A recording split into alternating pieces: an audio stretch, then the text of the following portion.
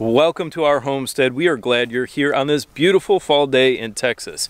If you're trying to grow food for your family and be self-sufficient on your homestead, there is one thing that you really need to get and that is a greenhouse or polytunnel. This will allow you to continuously grow food for your family through the winter months.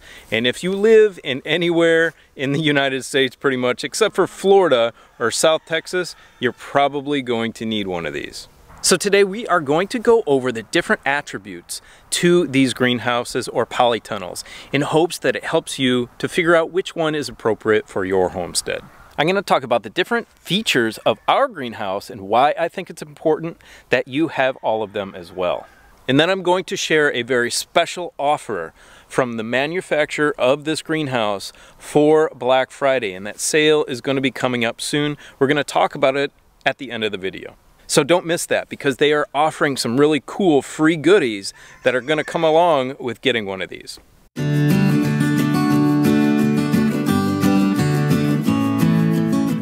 So let's talk about climate control first, and that is very important no matter what climate you live in.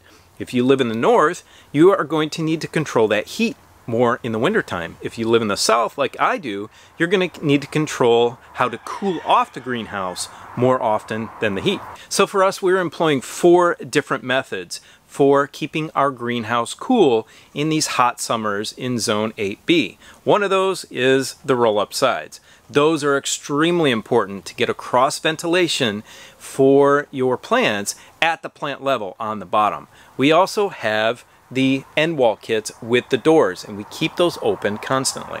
So those doors only go up to six foot eight and we have a 10 foot center purlin in our greenhouse. What we are adding, and we don't have it installed yet, is one of these automatic vents. Now these vents work off of beeswax, I believe, inside the cylinder. When it gets to a certain temperature, that beeswax will start to expand and it will open the vent.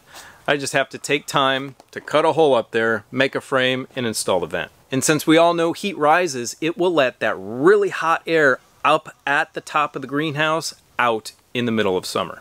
And of course, anything like this, I will always leave it linked in the description below the video. Now, as you can also see, we have shade cloth. This is a really important piece to have on your greenhouse if you live in my zone or south of me. So this is a 40% shade cloth and I will take it off for the winter time. So now we're going to talk about heating a greenhouse and this can be done in several different ways. Let's talk about the first one and that is the effect of the greenhouse itself. Having all your sides rolled down and your doors closed and your vents closed, a greenhouse can actually be 20 to 30 degrees higher temperature than the ambient air temperature outside, and sometimes higher. So, when you have a greenhouse, at least in my zone, you have to be very careful in the wintertime. If we don't monitor it, it can be upwards of 90 plus degrees here in the greenhouse when it's 50 outside. So you have to be very diligent about monitoring your greenhouse temps. We have these little Bluetooth weather stations right here. They sit in here and we can monitor them from the house and it will tell us if I need to come out and open things up in the middle of winter. Nice thing about this one is its battery life. I've only had to ever change the battery in it one time and it has sat out here for years. I'll list it in the description below for you. Now for those cold and frigid nights, we use this little Mr. Heater propane heater right here. And it does a great job at just keeping the temperature in here above freezing. This is a 20 by 40 greenhouse and this one unit will take care of it with no problem. Another strategy is getting these 55 gallon drums, painting them black, and filling them with water. And what will happen during the day is they will absorb heat and at night they'll radiate it out. We had these for our old handmade greenhouse that we did before we bought this one. As you can see, we tried to paint them black. Keep in mind, if you're gonna use this strategy, then you need to find a paint that will stick to this plastic. I didn't. This is just a regular Krylon spray paint, and as you can see, it's worn off pretty good. So if you're gonna do this, find the proper paint for it. So these worked well for us, but if you're in an area that's super, super cold, it may or may not, depending on how many of these you have and how big your greenhouse is. So it is important to understand that you do not need to keep your greenhouse at tropical temperatures in the dead of winter in the north, in Michigan or Maine or whatever.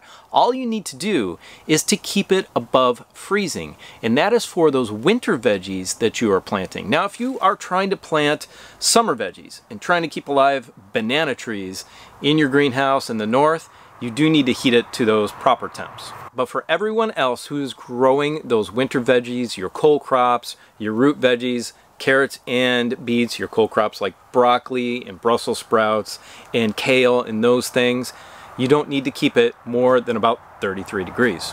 Even tomatoes don't mind temperatures of around 50 to 55 degrees. So if you are just on a homestead and you're trying to keep some leafy greens available for the winter time and some root crops, there's no need to spend a whole ton of money on heating options to keep it that high of temperature. You can also employ what's called a cold frame. And I'm gonna be building one of those in the next few weeks, so stay tuned for that. And it's going to go on these raised beds here in the greenhouse. I'm going to be getting rid of my cover crops, which have put a decent amount of nitrogen in the soil. And then I'm going to be starting some more root crops. And they are going to need a little bit warmer temperature to germinate. And that's why we are going to add those cold frames. Now let's talk about my greenhouse, what we have, and then the amazing sale coming up from Growers Solution. So this is a 20 by 40 Quonset polytunnel and it has the roll up sides and it also has the end wall kits and the shade cloth. And I think in total this cost me roughly $3,000. And then each of the doors that I installed were 100 bucks. Now the kit comes with absolutely everything except for the doors, of course, and the wood framing that you need for the bottom. So I've talked about some reasons why it's important to have the roll-up sides, but the end walls I think are important also, simply because it gives the greenhouse some really good rigidity. Now we've had some pretty decent winds out here. We just had a storm blow through last week and the winds were about 25 miles an hour. And we've had several storms like that since we've had this up. No issues at all. Now I think having wind strapping on your greenhouse is very important and I believe this kit does come with this wind strapping. Now it's important whenever you are buying your greenhouse or polytunnel from wherever you get it, that you look for a proper professional uh, film greenhouse film. This is more than just plastic. This is UV treated. It is six mils thick. It has a warranty on it even, and it should last upwards of five to six years.